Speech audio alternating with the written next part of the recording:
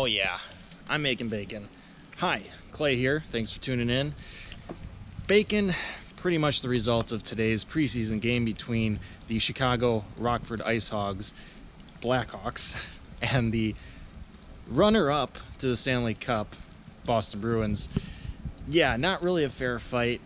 8 to 2 final score, but some positive things came out of it positive in terms of fans. We actually finally got to see the difference between an NHL team and an AHL team and how vast the difference is in skill level. Now, all those players, AHL, NHL, all the players on the ice are extremely talented hockey players. But there is just a big difference between AHL and NHL. We saw that today. Uh, it wasn't all for nothing. We got to see a lot of players uh, and their compete levels, and just the players themselves got to see just you know what it takes to make the NHL, and not just make the NHL, but to be a Stanley Cup contending team or players on a Stanley Cup contending team. So some good things, some positive things to come out of it. But once again, we weren't really looking for a win or the result in this one. It was a pretty lopsided affair for pretty much the entire game. 4 nothing. the end of one, with the Bruins having four goals and the Chicago Blackhawks having four shots. It was a rough night.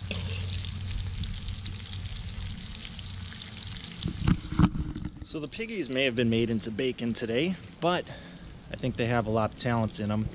I think the Rockford Ice Hogs are going to do pretty decently this year. Now, the thing with seeing an NHL versus AHL team, we're also going to see that with the Blackhawks actual lineup over in Europe. They're playing a DEL team, and there's going to be a little bit of talent uh, discrepancies there. I don't think it's going to be the same as an 8-2 scoreline that we saw today, but Hawks should be able to win that one pretty decently. Now, the, the kicker, though, is over in Europe, they're going to be playing on international ice which is a little bit larger than NHL ice. So it's going to be a little bit different game, a little bit different atmosphere out there. A lot more space for guys like Patrick Kane to work with, but the, the play is going to be more kind of on the outside rather than in the middle. So it's going to be interesting to see how those two teams play.